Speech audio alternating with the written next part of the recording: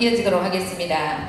자, 먼저 벨리, 네, 아주 외국을 다니면서 네, 모든 많은 사람들의 사랑을 받고 있는 신숙현 님께서 벨리로 여러분들의 인사를 드리도록 하겠습니다. 박수 부탁드립니다.